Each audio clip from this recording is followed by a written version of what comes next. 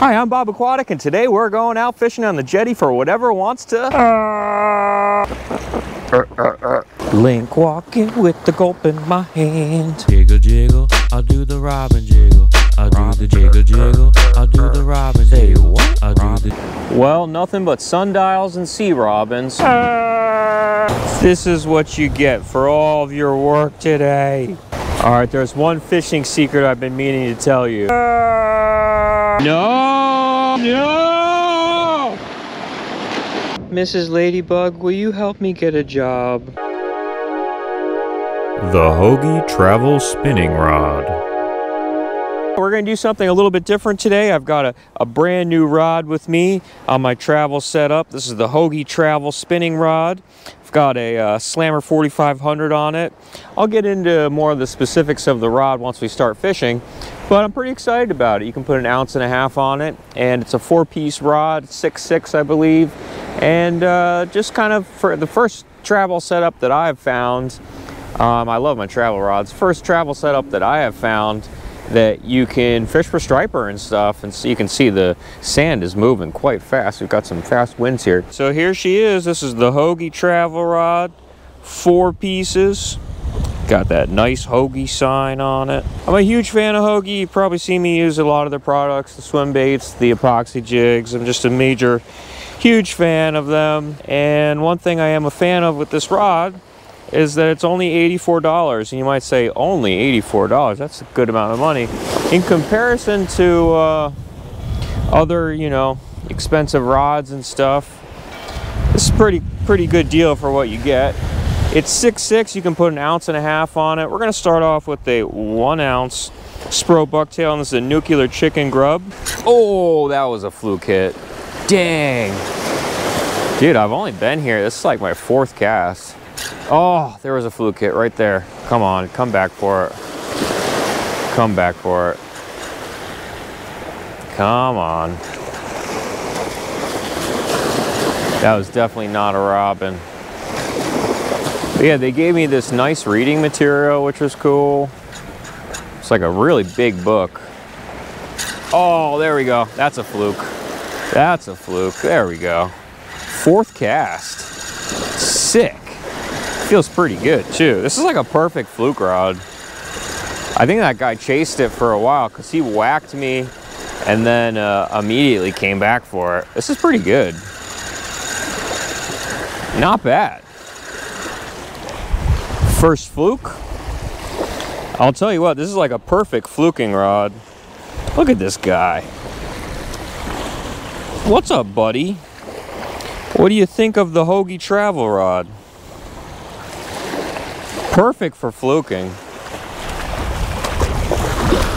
And that was only like the fourth cast, man. One thing I am liking about this is that uh, the guides aren't like rotating or anything. Sometimes on two-piece setups, the guides will like get on straight, and I'm pretty OCD about that. Give me two of them. This this already have a teaser on there. All you gotta do is get a teaser and change the. Okay? Dude, thank this you. One already made. How many you know, ounces the thing I like this? Too, I like I like the holograph. That's what makes it triggers it.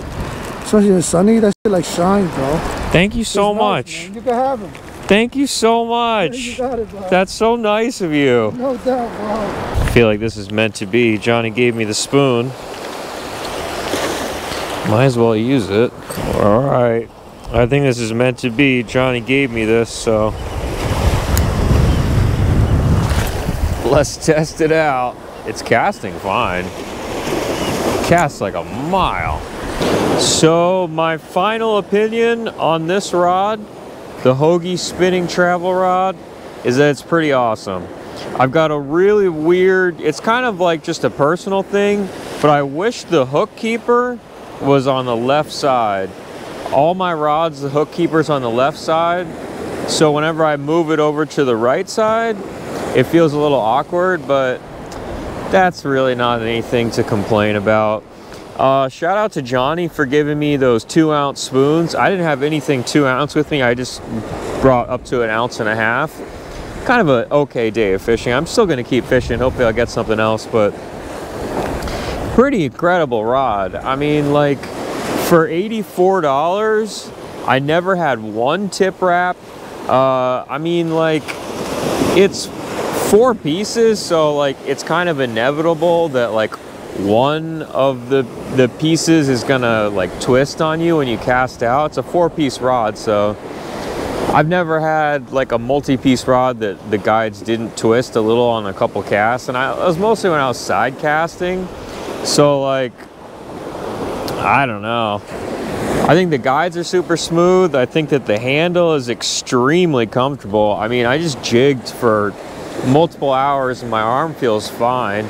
So for fluking, I think it's incredible. So two rigs that have been working really well for me for the fluke and just like multi-species for the past few years are the epoxy jig or a heavy minnow, a Hogy heavy minnow with a gulp trailer and also the bucktail with a Gary Yamamoto Senko trailer on the end. For some reason, I've been doing equally as well with the Gary Yamamoto Senko trailer, both for striped bass, blues, but also mainly for the fluke. It just works very well for the fluke um, in like heavy current when you need a heavy bucktail. Um, but it's been working equally as well as like the gulp mullet or or the jerk shad. Um, but shout out to Johnny for giving me that spoon because it totally made this video uh, worth posting. And uh, yeah, I got this really nice bluefish on the spoon. And I was pretty psyched. Jiggle, jiggle, I'll do the robin jiggle. I'll do the jiggle, jiggle, I'll do the robin. Say what?